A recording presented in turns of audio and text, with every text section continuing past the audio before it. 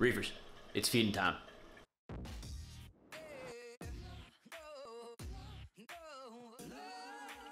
Reefers, welcome back for another episode. We're gonna be feeding coral, fish, and my anemone today. I figured I'd document everything so you guys can see what my schedule looks like and what I do to feed my fish. So before we jump into it, please hit that subscribe button.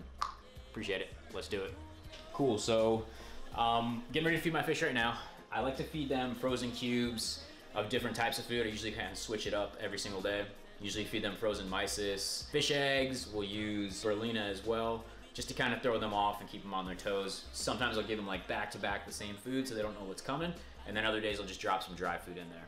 Uh, what I usually do is take some tank water, dip it in my cup, like so, and then I put the frozen cube in the net in there. I'm sure a lot of your reefers already do this out there.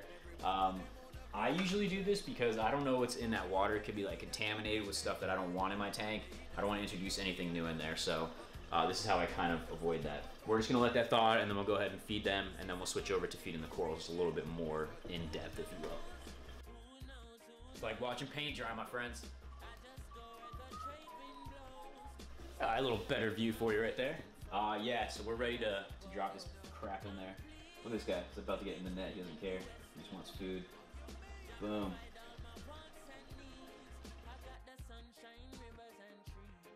I always like to watch and make sure that everybody gets food too, because I have some fish in there that are a little bit more fat than others. Oh yeah, we're gonna feed some coral now. Uh, this stuff right here, guys, I can't hype enough. Reefroids is by far one of the best products I've used by Polyp Lab. My coral go ham over the stuff. Boom, so these are my feeding tools, obviously. Whoops. Boom, Reefroids. Uh, I got my cup, and then I use this guy. This is my weapon right here for spot feeding. Little turkey baster make you think differently about Thanksgiving. This, what I usually do is I mix the uh, Reefroids with uh, just some tank water. Awesome. Here's what the Reefroids look like. Can you guys see that? I guess the gnarlier the better is the rule. Guys, I don't measure this. I just like freestyle. Uh, almost forgot to turn off the system, so let's do that. Let's give it like some stirring. Fill it up in the Look at that. This weird stance. Coral doesn't naturally just have its feeders out all the time. So what I usually do is I'll pump a little bit in there to get them like excited and then you'll see some like stringy stuff come out and then we'll start pumping more food in there. So let's do that.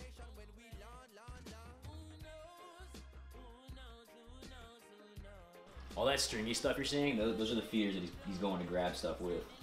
Go ahead and uh, take care of some of these zoas. Awesome, so we got everything fed using the Reefroids. Uh, they absolutely love that stuff. Again, what I usually do is I'll drop some Reefroids in there first, get them kind of warmed up, ready to eat, and then I'll start target feeding them. I cannot hype it enough. I'll leave a link down below so you guys can order some as well. Uh, and again, I feed my corals about uh, once every week. Uh, you can feed more than that, but that's just kind of the schedule that I stick to. Let's uh, let's get this anemone fed. This is probably one of my coolest things to see. Uh, we're gonna feed him some silver sides and watch him just kind of eat it up and watch the clownfish get super pissed about it. Let's get it. What you're gonna need for this is, I usually use these long like feeder tweezer things. Another cup, obviously, and then some silver sides. That, my friends, is a silver side. It is gnarly, it's frozen right now. What I usually do is um, I'll dip this into some tank water because the tank water is a little bit warm and it'll thaw out for a little bit and then I'll just put it right into his mouth. So, oh man, check that out. That is sick view right there. Watch how pissed these guys get. Oh my god. And just kind of let the anemone grab it.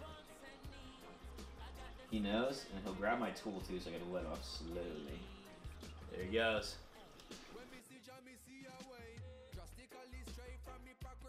Hope you guys found that super helpful. Um, it was pretty cool to see the uh, the anemone take that stuff. I usually feed my fish once a day, my coral once a week, and then my anemone like once a week as well, just to keep them happy. Um, hope you guys enjoyed that. If you guys don't mind, please hit that subscribe button for me, and maybe throw me a like as well. It goes a long way. Any questions, comments, or concerns, leave them down below, and don't forget to visit me on Instagram at Tankbruh. Um, until next time, happy reefing. Peace.